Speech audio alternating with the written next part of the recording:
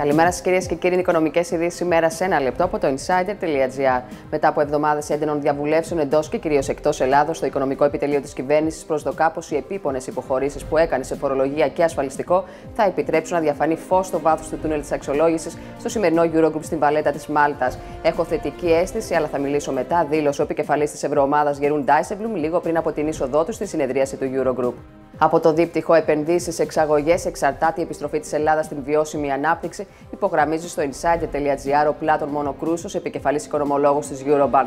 Τα τελευταία εννέα έτη η Ελλάδα υπέστη μια πρωτοφανή από επένδυση. Η χώρα χρειάζεται μαζική εισρωή ξένων επενδυτικών κεφαλαίων και μάλιστα σε παραγωγικούς και εξωστρεφείς κλάδους της ελληνικής οικονομίας, καθώς και μια γενναία ελάφρυνση χρέους για ένταξη στο πρόγραμμα ποσοτικής χαλάρωσης εντός του 2018, τονίζει χαρακτηριστικά. Τη συνεργασία της με το ερευνητικό δυναμικό του Αριστοτελείου Πανεπιστημίου Θεσσαλονίκης Θεσσαλονίκης ανακοίνωσε η Εθνική Τράπεζα με στόχο την μεγαλύτερη δυνατή αξιοποίηση της επιστημονικής έρευνας στην ανάπτυξη καινοτόμων επιχειρηματικών ιδεών. Η συνεργασία θα υλοποιηθεί μέσω του προγράμματος NBG Business Seeds και θα περιλαμβάνει ενέργειες δικτύωσης, προβολής καινοτόμων ιδεών και έργων και αμοιβαίας πληροφόρησης. Η πρώτη κοινή δράση περιλαμβάνει τη διοργάνωση τριήμερου σεμιναρίου μεταξύ 7 και 9 Απριλίου με σκοπό την καθοδήγηση ομάδων με καινοτόμες ιδέες σε συνεργασία με την θερμοκοιτίδα επιχειρηματικότητας, OK και τους φορείς της Θεσσαλονίκης. Ανωδικά Γενικά κινείται η χρηματιστηριακή αγορά στο σημερινό άνοιγμα της συνεδρίας με το γενικό δίκτυο να κυμαίνει 694,82 μονάδες, καταγράφοντας κέρδη 0,55%. Μικτέ τάσεις επικρατούν στα ευρωπαϊκά χρηματιστήρια.